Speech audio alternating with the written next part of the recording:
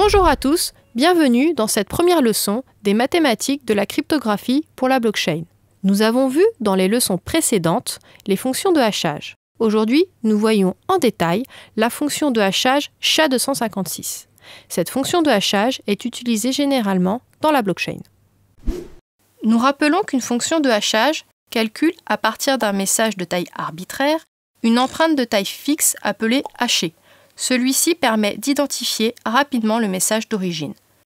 Les propriétés de base d'une fonction de hachage sont les suivantes. Une fonction de hachage est déterministe, une fonction de hachage est rapide en termes de calcul, changer un message, chanson hachée avec une forte probabilité. Une fonction de hachage cryptographique se doit en plus d'être résistante aux attaques par collision et aux attaques par préimage. Surtout n'hésitez pas à revoir la leçon sur les fonctions de hachage. Avant de poursuivre, il est conseillé de lire l'aide mathématique du complément de cours. C'est bon? Vous êtes au point avec les rappels mathématiques? Parfait, dans ce cas nous pouvons commencer. SHA-256 est de la famille SHA-2, standardisée par le NIST, l'Institut national américain des standards et de la technologie. La fonction de hachage SHA-256 suit une construction de Merkel-Damgard et produit des hachés de 256 bits. La construction de Merkel-Damgard est un algorithme qui permet de résoudre le problème du hachage cryptographique en acceptant un message de taille quelconque tout en produisant une sortie de taille fixe. Elle se base sur l'utilisation d'une fonction de compression.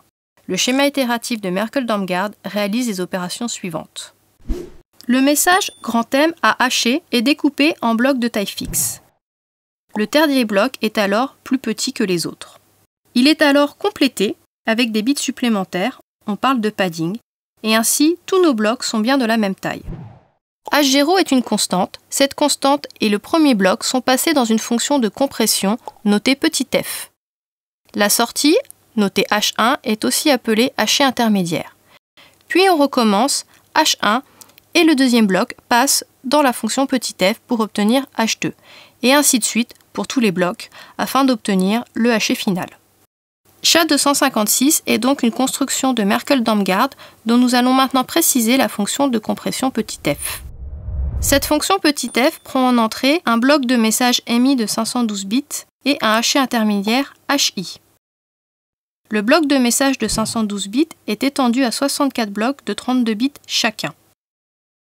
Chaque mot de 32 bits est mélangé avec le haché intermédiaire via une fonction de tour petit g. Pour finir, on applique un XOR du haché intermédiaire HI avec la nouvelle valeur obtenue. Regardons maintenant de plus près la fonction de tour G. L'entrée de la fonction de tour G se compose d'un bloc WT de 32 bits provenant du message et des 256 bits provenant de l'itération précédente.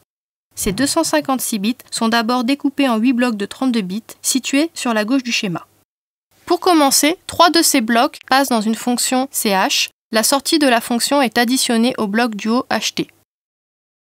Puis un unique bloc passe dans la fonction sigma 1, le résultat lui aussi additionné au bloc ht.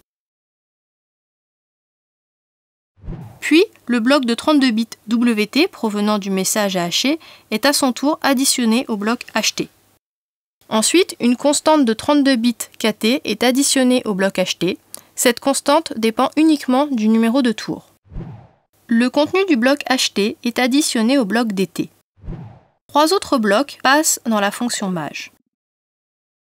La sortie est additionnée au bloc ht.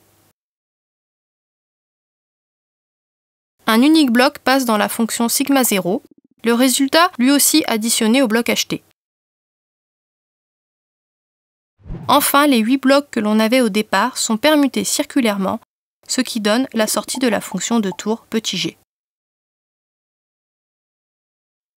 Ainsi s'achève la leçon sur chat 256. N'hésitez pas à lire les compléments du cours. À bientôt!